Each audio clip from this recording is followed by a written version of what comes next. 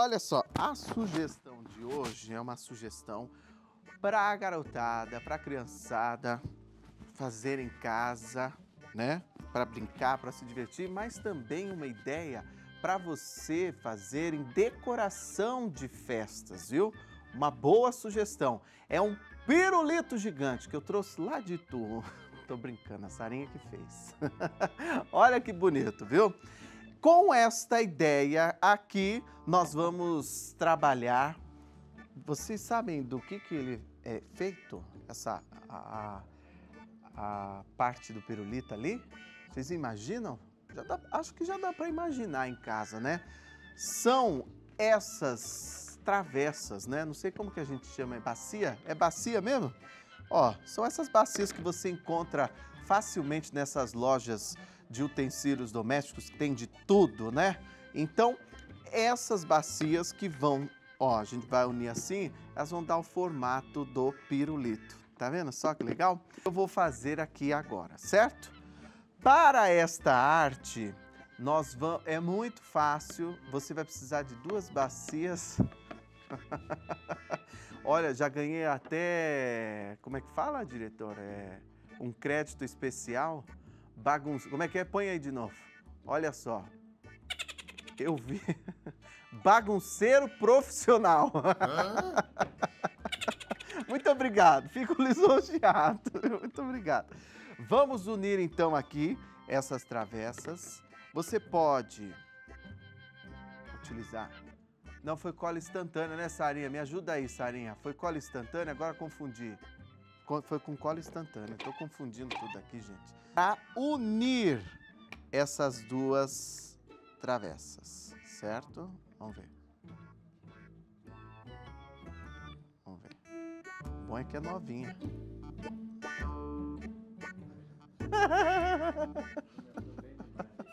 Tem que cortar a ponta aqui.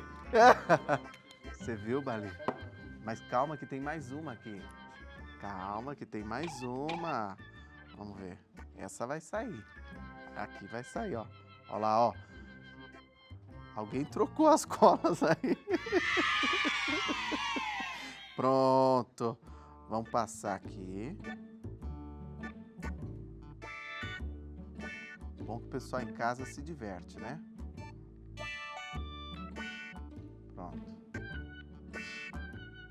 Passamos e vamos unir, ó. Bem fácil. Pronto. Muito cuidado. Pronto. Deixa secar agora. Como é cola instantânea, seca rapidinho, né? Então, depois de seca, o que, que nós vamos fazer? Nós vamos pintar essa peça aqui. E aí, eu vou utilizar essas tintas spray. Você pode utilizar uma tinta PVA, né? Mas antes, se você for trabalhar com outro tipo de tinta, você só precisa passar o primer, né? Prepara com primer e aí sim duas demãos de tinta PVA ou tinta acrílica, tinta que você preferir, certo? Depois que fizermos esse processo, é bem fácil, gente. Fizemos a pintura, eu vou passar aqui para debaixo, ó. Vou trocar aqui porque a gente vai precisar furar. E aí que vem uma dica importante para vocês. Com, ó, vou pegar esse aqui. Esse aqui já foi feito com aquela bacia maior, né? Aquela travessa maior, ó. Ó lá. E aqui a gente até fez de uma forma diferente. Trabalhamos com duas cores, né? Você pode fazer aí o desenho que quiser, tá? Para fazer o furo, como que nós fizemos esse furo aqui? Você pode utilizar uma broca, né, furar, ou você pode também, uma maneira fácil, é esquentar uma faca, um estilete e fazer o corte, tá? Então você faz um corte menor aqui, né? E outro um pouco maior do outro lado. Para que, que são esses furos? Porque a base desse pirulito vai ser um cabo de vassoura a gente vai utilizar. Então você tem que fazer do tamanho que passe o cabo, certo? Vamos também pintar esse cabo de vassoura. Eu também, nós utilizamos aqui também a tinta spray para fazer a pintura deste cabo, certo? Caiu tudo aqui.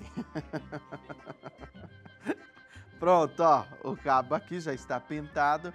Às vezes, dependendo do, do material, né, de uma vassoura que você tem, que às vezes a vassoura quebrou tal, o cabo já vem até decorado ou pintado, né, daí nem precisa. Mas o que, que nós vamos fazer agora? Agora nós vamos encaixar aqui esse cabo, certo?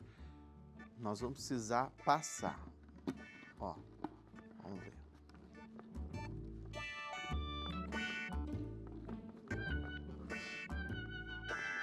É o contrário, não seria? ah, sabe que o diretor está dando uma ideia boa? Que a gente pode encher de doces este pirulito aqui e na hora da festa falar para a criançada, vamos abrir o pirulito! Aí abre o pirulito e tá cheio de doce, né? Não é uma boa ideia? Agora sim, agora sim, vamos pronto para esta etapa. Pronto. Aí. E agora a gente encaixa do outro lado aqui. Eu gosto de vocês torcem para dar errado, né? É impressionante. Pronto. Passou do outro lado, agora sim. Agora o que, que nós vamos fazer? Nós vamos com a cola quente, agora sim a cola quente. Eu vou preencher e fixar este cabo aqui, ó. Certo? Para ele prender e parar, ficar parado.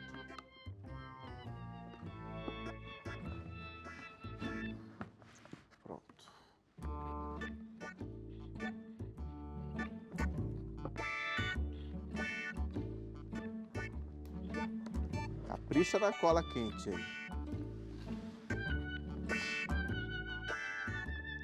Pronto. Olha, gente, basicamente já está pronto, mas o grande final vem com a embalagem desse pirulito, né?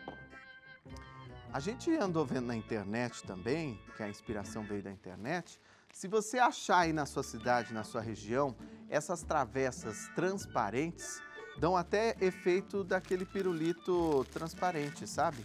Fica super bonito. Então agora o que nós vamos pegar? Vamos pegar um papel celofane. Aqui nós temos vários, né, Sarinha? É isso mesmo, né? Olha, vou pegar um papel celofane.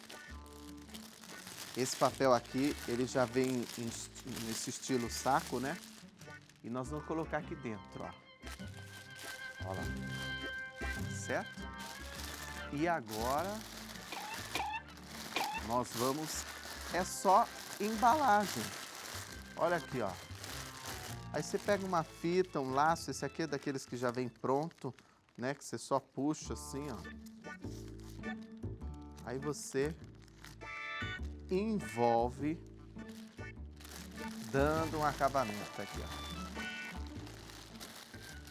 Essa é uma dica legal, gente, sabe por quê? A gente sabe que no segmento do artesanato, é, se trabalhar com decoração de festas é um nicho muito, muito, muito rentável. Então é uma oportunidade para você que trabalha com decoração ou quer trabalhar com decoração de festas, para você fazer na sua casa. Está pronto o pirulito? Pronto.